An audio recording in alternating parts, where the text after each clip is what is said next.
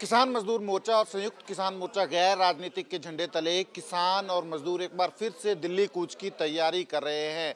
2020 नवंबर में किसानों ने कूच किया था दिल्ली की तरफ़। तीन खेती कानून जब आए थे, उनके खिलाफ एक बार फिर से दिल्ली कूच की तैयारी है। हमारे साथ सरवन सिंह पंधेर हैं, किसान मजदूर मोर्चा के नेता हैं। इनसे बात करते हैं क्या क्या मुद्दे हैं। पंधेर साहब, पहले तो तैयारी क्या है तेरह फरवरी को दिल्ली कूच करेंगे। कौन कौन से संगठन हैं और क्या तैयारी है? देखिए इसमें से लगभग हमारे फोरम में नौ राज्यों से संगठन है। तो सौ से प्लस अब संगठन आ गए आदिवासी परिवार का भी हमें सहयोग मिला। गुज्जर भाईचारे की भी यूनियन आ गई। ये एक्स्ट्रा से है। ये दोनों भाईचारे लाखों का इकट्ठ करने की समर्था रखते हैं। तैयारी तो देखो हम अपनी ट्रैक्टर ट्रॉलियों को हर गाँव से चार, दस तक एक से लेकर दस तक ट्रैक्टर ट्रॉली तैयार हैं। हमारे यहाँ ट्रैक्टर ट्रॉली हमारे घर होंगे। उसमें से हमारे जो सामान खाने पीने का वो बड़ी तादाद में होगा और ठंड है तो उसमें बालन वगैरह भी होगा, सिलेंडर वगैरह होंगे, दूध सूखा होगा, हर हर वस्तु जो हमें वहाँ चाहिए, पानी की टैंकियाँ होंगी। तो हम पूरी तरह हर जो ज़रूरत की चीज़ है वो लेके चल रहे हैं। भी क्या मालूम कहाँ हमें रोका जाए कहाँ हमें बैठना पड़े। पहले तो मुद्दे बता दो क्या क्या है तेरह फरवरी को कूच कर रहे हैं? क्योंकि खेती कानून तो अब जो पहले थे जिनके लिए पहले आंदोलन था वो तो खत्म हो चुके हैं। इस कूच के लिए क्या क्या मुद्दे हैं? देखिए इस बार सरकार ने जो निर्णय लिया कि गेहूँ से सब्सिडी जो बाहर से आयात होगी गेहूँ तो आयात कर खत्म किया जा रहा है। इसी तरह से चने के ऊपर। तो ये मुक्त व्यापार समझौते जो सामने आ रहे हैं। उनमें से उन्होंने निर्णय लिया है कि जो भी विदेशों से हमारे देश में फ़सलें आएँगी, उनके ऊपर आयात ड्यूटी खत्म की जाएगी। देखिए, अगर बाहर से फ़सल आके यहाँ हमारी मंडी में डंप होगी तो हमारी फ़सलें नहीं बिकेगी। तो ये ये बात हटानी है। दूसरा, ज़मीन ज़मीन अधिग्रहण कानून है। उनमें अब किसानों की मर्ज़ी के बगैर ज़मीनें छीनने का निर्णय लिया जा रहा है। ये तो दो बड़े सवाल हैं। तीसरी बात है अभी एमएसपी खरीद की गारंटी का कानून बनाना, जो मोदी जी ने माननीय प्रधानमंत्री जी ने मानी थी हमारे साथ बात। इसी के साथ साथ डॉक्टर स्वामीनाथन कमीशन की रिपोर्ट लागू करने का भी प्रधान, माननीय प्रधानमंत्री जी ने वादा किया था सी टू फार्मूले के तहत वो लागू करवाना है। अब गन्ने की बात है कि गन्ने को भी सी टू फार्मूले में शामिल किया जाए और जो भी देश की मिलों के पास हमारा देश के किसान का बकाया खड़ा है, उसे वापस किया जाए। किसान मजदूर को कर्ज मुक्त किया जाए।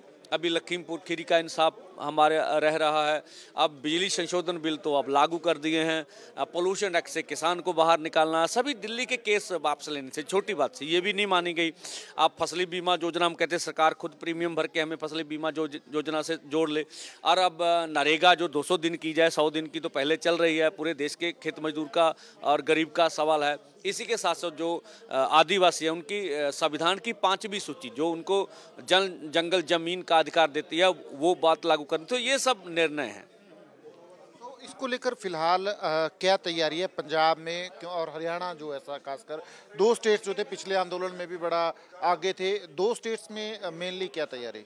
देखिए हरियाणा में आपने अगर सोशल मीडिया पर देखा हो तो पिछले पाँच दिन में अब छठा दिन होगा अब एक से फरवरी से मुझे लगता अगर इसकी संख्या करनी हो तो मुझे एग्जैक्ट नहीं को दस पंद्रह हज़ार ट्रैक्टरों के मार्च हो चुके हैं पूरे हरियाणा में। हरियाणा पीछे से ज़्यादा सरगर्म नज़र आ रहा है। हमको अगर बोलेंगे तो हम जितनी ट्रैक्टर ट्रॉलियाँ पिछली बार ले तो उससे तीन गुना अधिक होंगी। तो इस बार तैयारी हरियाणा की ज़बरदस्त है।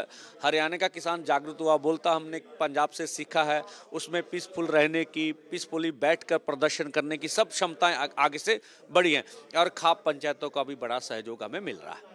तैयारी क्या है। तेरह फरवरी को क्या करेंगे? दिल्ली कूच करेंगे परमानेंट प्रोटेस्ट करेंगे पहले की तरह या फिर प्रोटेस्ट करके वापस आएँगे? क्या प्लानिंग क्या है? देखिए परमानेंट प्रोटेस्ट होगा। अगर सरकार माननीय प्रधानमंत्री जी हमें बुलाएँ हमारी डिमांड के ऊपर कोई फैसला करें फिर तो फैसला हो सकता है। कोई अनक का सवाल नहीं है अभी जाना जाना। अगर जब तक सरकार हम हमारे मुद्दों के ऊपर कोई निर्णय नहीं लेती तब तक नहीं वापस आएँगे। कुछ जगह भी मुकर की है जहाँ इकट्ठा होंगे सारे दिल्ली में।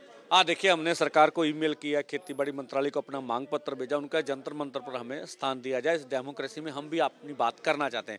और जो हरियाणा का बॉर्डर है इनमें से शंभू हो गया खनौरी हो गया डब्बवाली से हम इधर हरियाणा की ओर इंटर करेंगे। जो एस है संयुक्त किसान मोर्चा जिसमें पहले काफ़ी संगठन है जो पहले आंदोलन जो है उन्होंने काफ़ी लीड किया। हालाँकि आप लोग भी साथ थे उनके साथ भी कोई बातचीत है कोई?